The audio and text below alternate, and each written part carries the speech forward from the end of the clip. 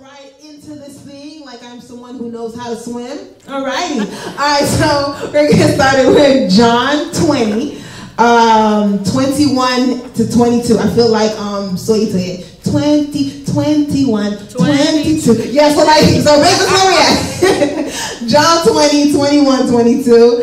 All right, um, and it reads, So Jesus said to them again, Peace to you. As the Father has sent me, I also send you.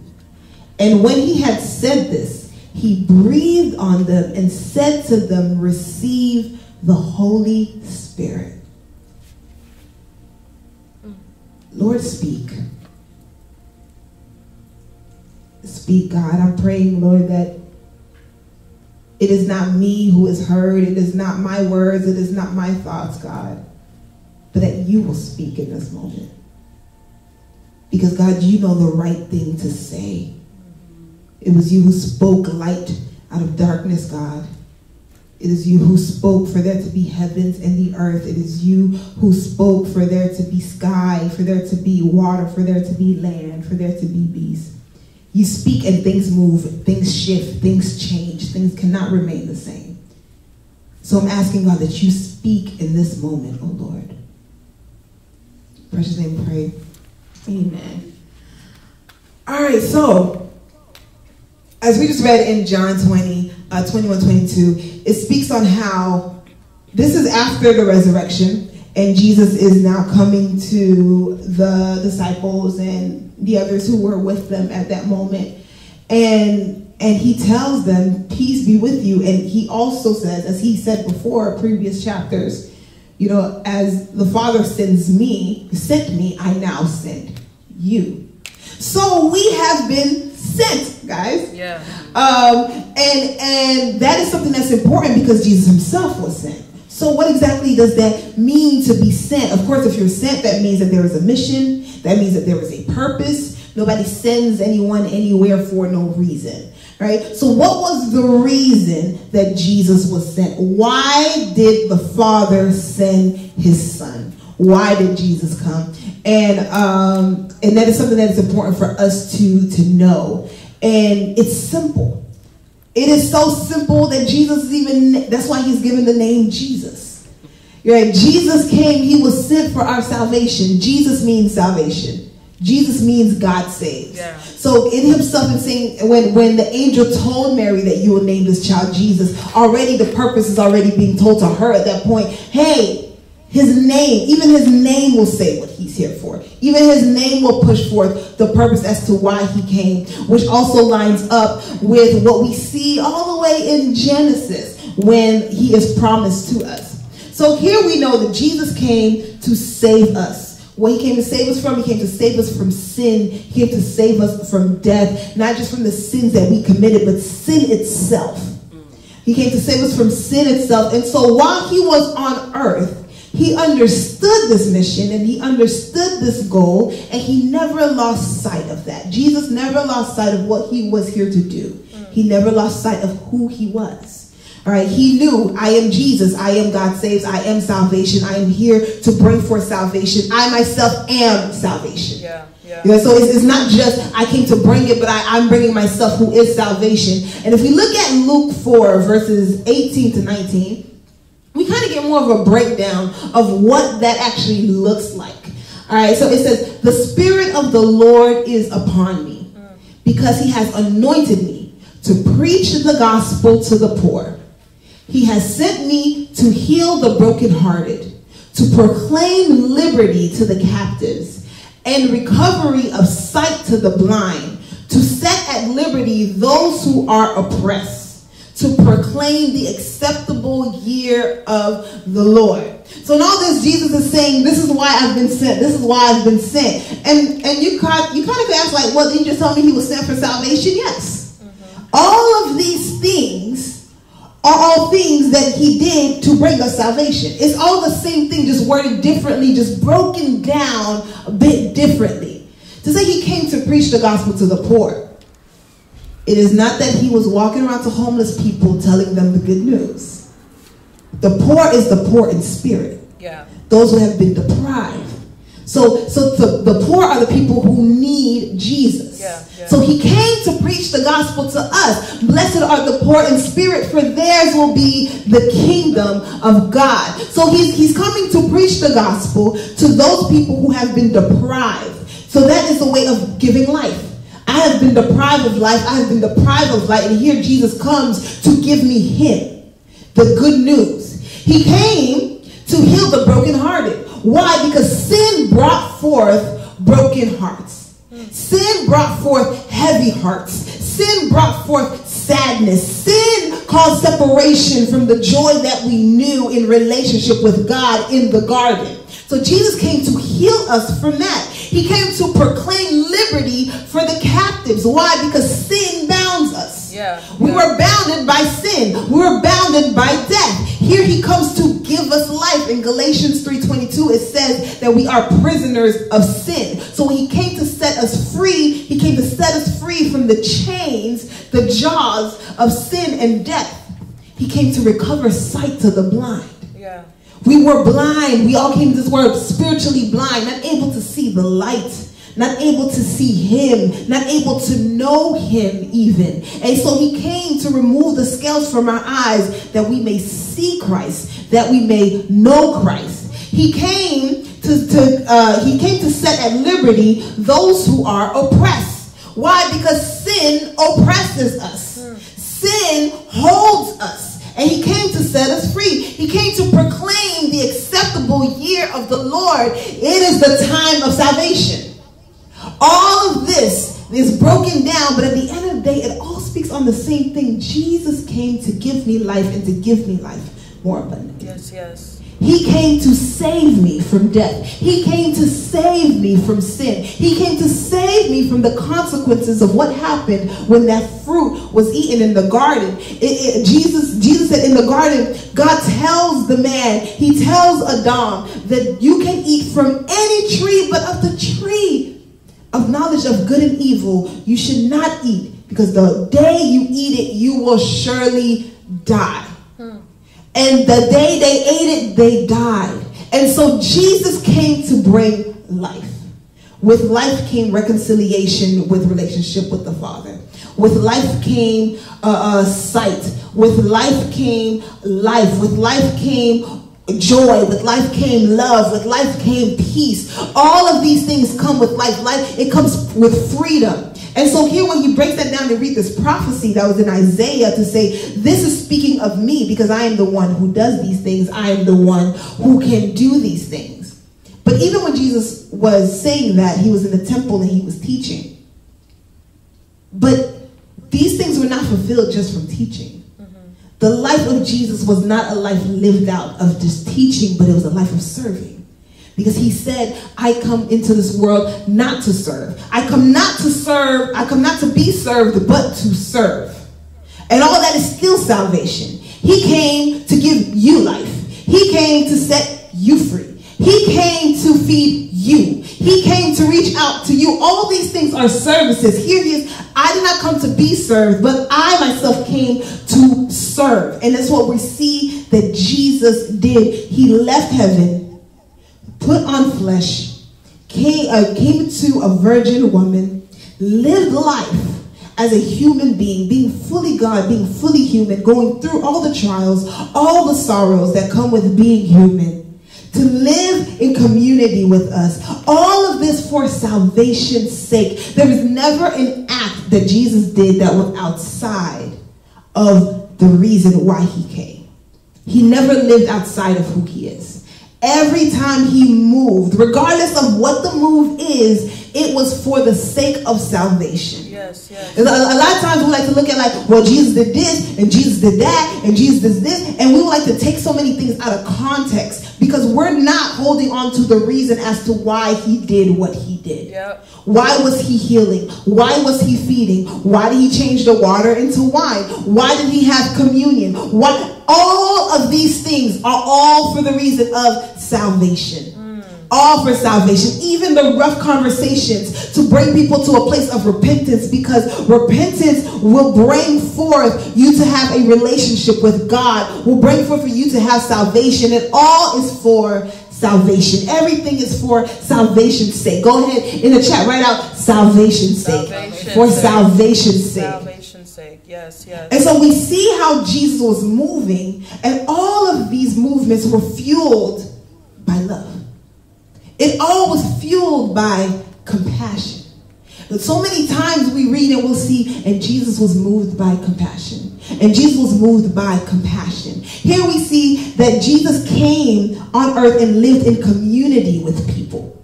He was literally in community. He came to, to a person and to a woman, to a virgin woman.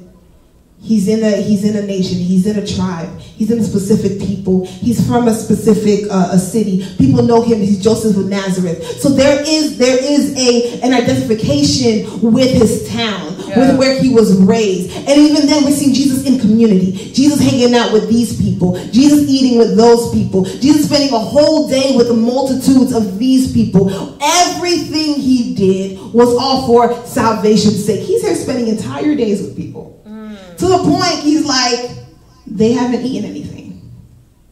I need to feed them. He's moved by compassion, seeing that these people are hungry. They were with me the whole day. I have to feed them. There, there are moments where the disciples like, bro, it's getting late, and they need to they need to go back home. They need to eat, so let's send them off. And Jesus says, you feed them.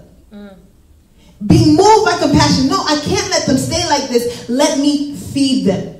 Hearing beggars, hearing people cry out, Jesus, Jesus, yet he stops. People who we may look over because we got so used to them crying, so used to them shouting, so used to them being in a particular place, yet Jesus stopped and he had compassion and he moved and he healed the beggar. He healed those who were lame. He healed those who were blind. We're seeing how Jesus, how it speaks about in Luke 4, all these spiritual things that Jesus came to do, but we're also seeing how Jesus also doing them physically as well. That's good. Yes. See, yes. before he even speaking of in, in, in John, before he even speaks on how people are spiritually blind, he healed the man who was blind from birth.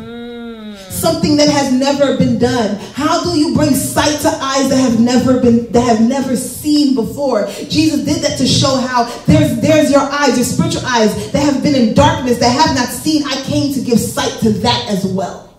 Woo. See, so here Jesus is doing things physically that affects us spiritually. Yes, yes. So even when, when he healed the one the, the one man who was paralyzed and, and he and he said, Your sins are forgiven you, and then they looked at him like, Who you think you are to forgive sins? Mm. And like, just so you know that I have authority to forgive sin, pick up, pick up your mat and walk. Here, Jesus is doing physical things, things that you cannot do, yet he speaks into existence and it happens to let you know, don't you dare limit me, because which is harder to do? To tell this man his sins are forgiven or for him to get up and walk. And his sins being forgiven is a lot harder.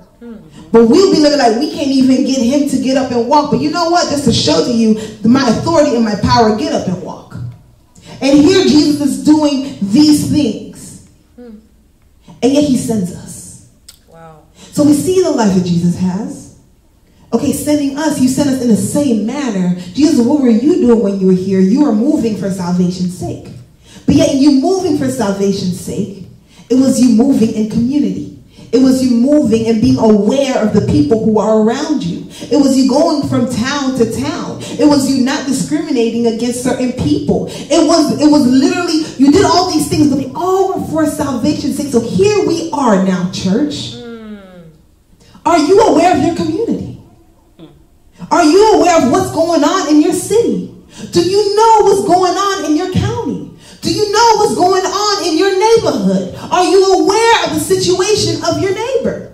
Because these things are important. Because how do we expect to move for salvation's sake or to move for Christ's sake when we are not even concerned with what is going on with that person right then and there? See, here's one thing that Jesus understood. He understood me feeding you spiritually is not something that is attractive to you when you are physically hungry. He understood that while you have these physical problems, while you are going through these problems you're seeing right now, that you're experiencing right now, you don't want to hear about anything that I have to say about your spiritual state right now. Because this is a permanent problem for you. This is what's real for you right now. You're hungry today. You don't know what you're going to eat today. Who, for me to step up and say that I am manna, I am the bread of life. You're hungry right now. Well, can I eat you now? Can I eat you? You say you're the bread of life, but I'm hungry today. My stomach is growling as you are talking to me. Jesus understood, well, let, let me take care of these physical things. Let me show you that I care for what you're actually going through so that you know when I'm speaking to you of spiritual things, it is from that same place of compassion. Because as we are moving and we are and we care to share uh, uh, the good news, it has to come from a place of love. It has to be fueled by compassion. Because compassion is going to make me see where you are now. Yeah, yeah. And me, me addressing where you are now physically allows me to address where you are now spiritually.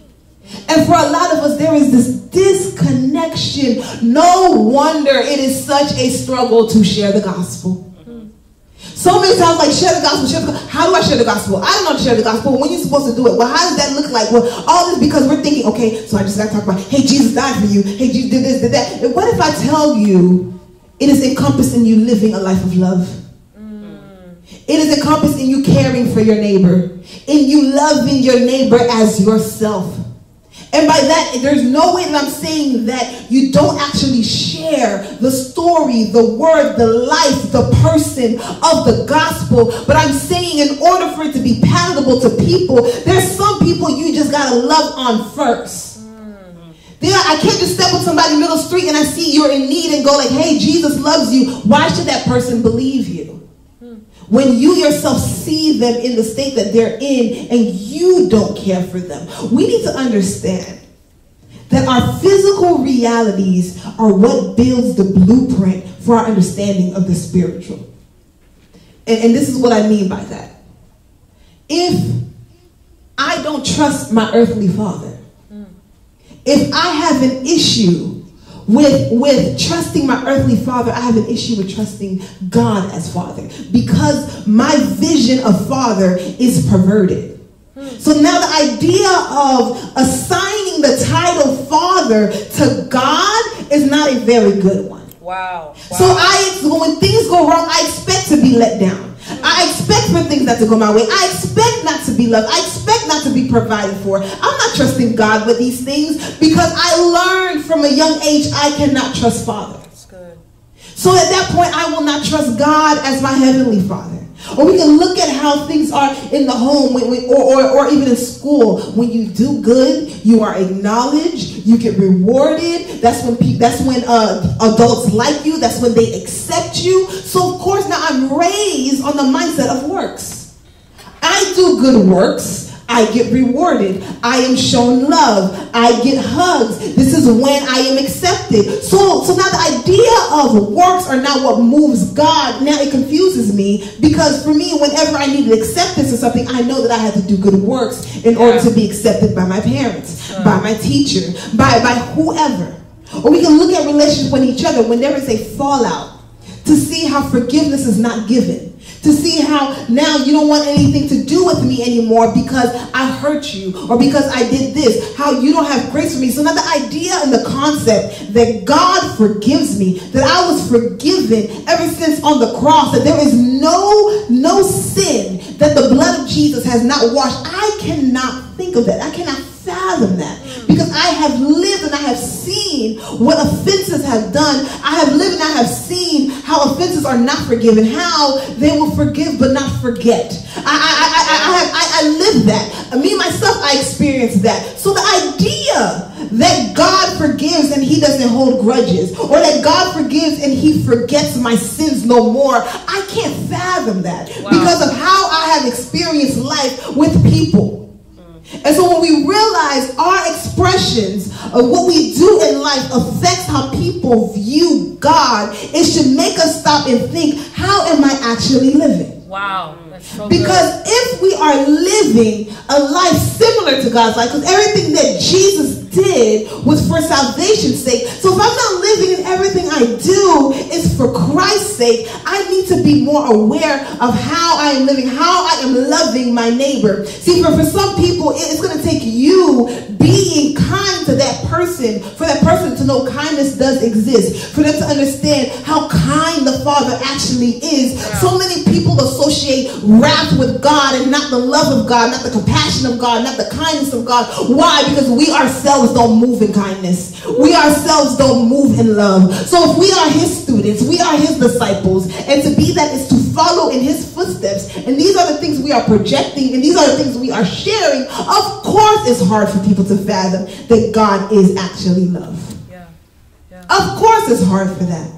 And so, even as we look at the world today, we can look at the United States, just this country that is on fire now, that is in darkness now.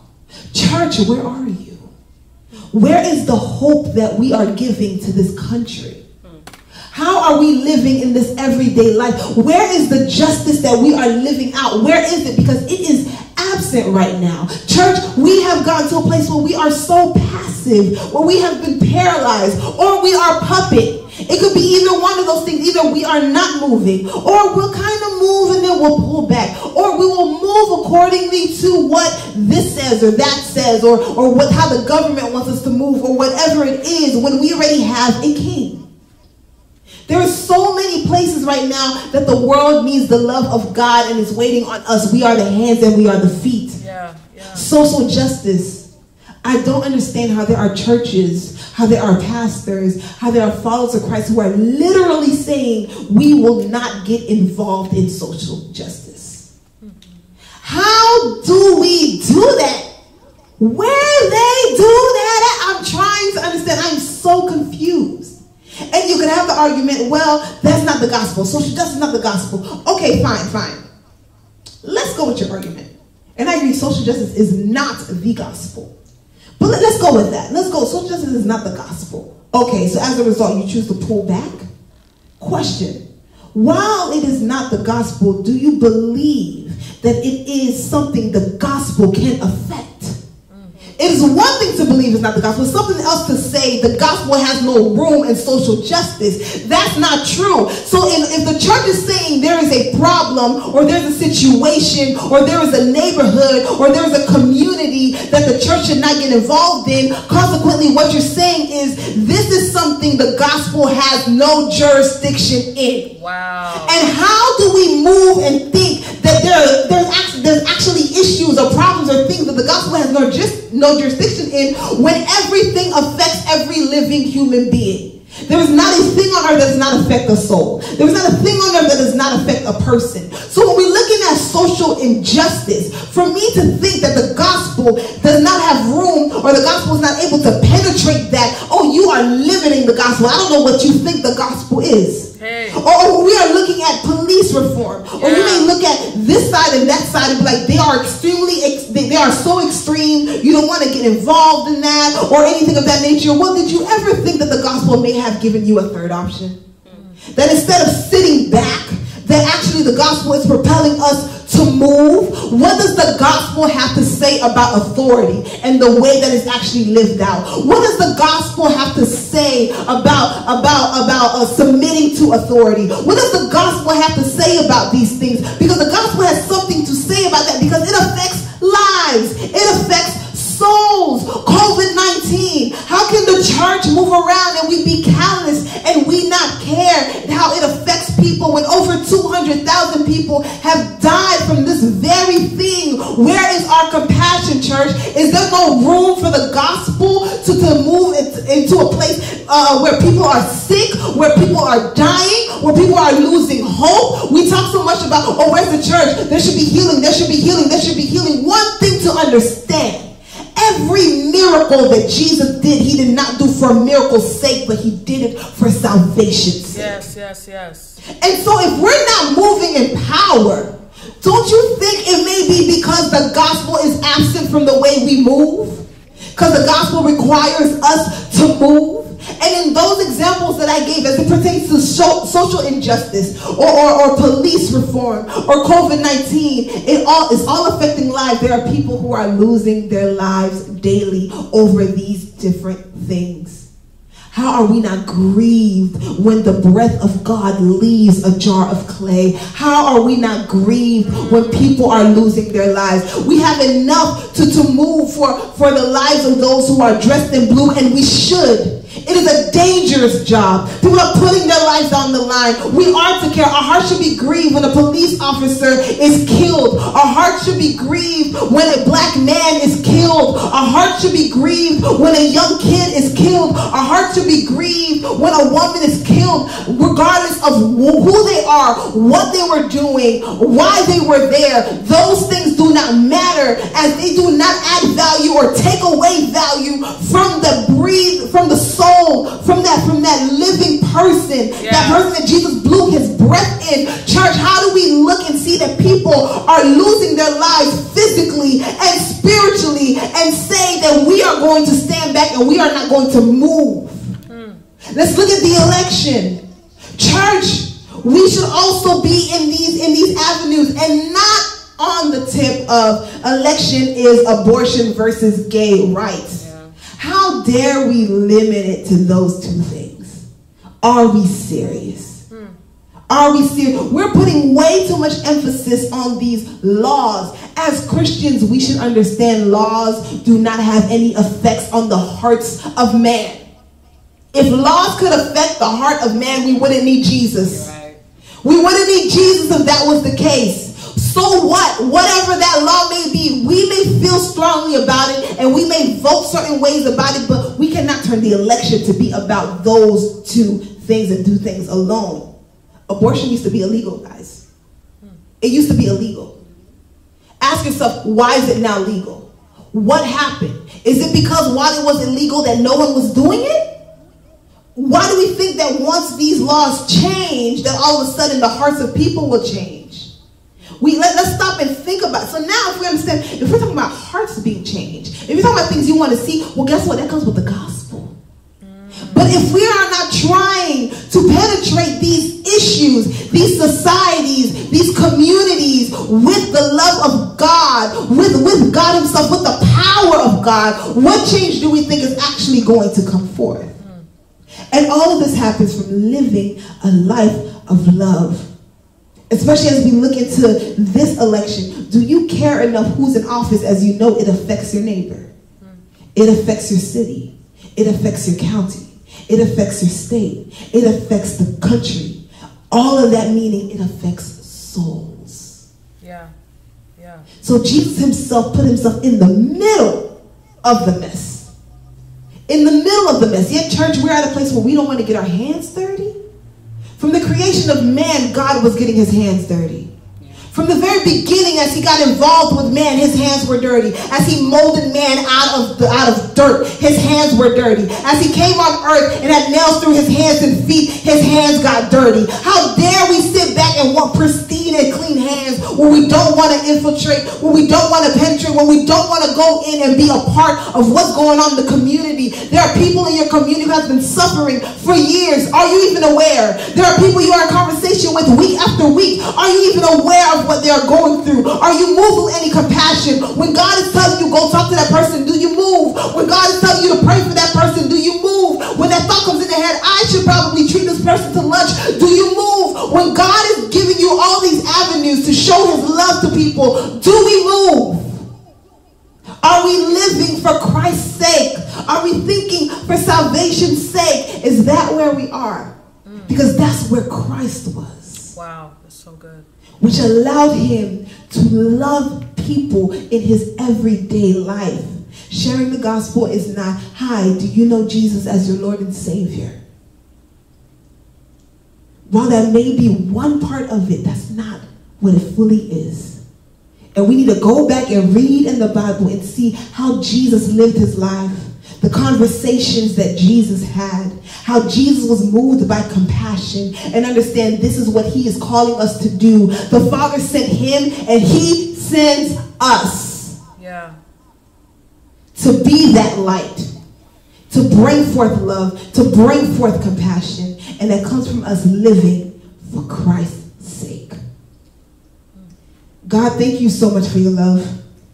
Thank you so much for your grace. I thank you that you are not a God who loves in word, but one who loves in deed. I thank you that you came down to show us exactly what we should do. And not just that, but you empowered us to do it. Because you gave the church power. You breathed your Holy Spirit. You're not sending us out there alone. But you come with us. And God, I pray that we will no longer keep you in our back pockets. I pray, God, that we will no longer pick what time we should be we should be executing or, or expressing your love, God. But I pray that we may express it in our everyday life.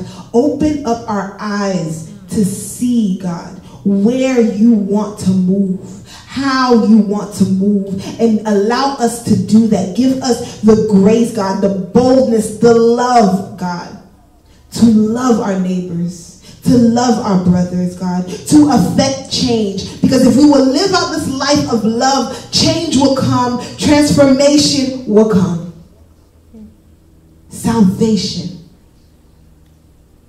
will come. God, as you have already came and you have already given us salvation, let us move in boldness that we may offer it in the full beauty that it is, God. For the holy precious name we pray. Amen. Amen.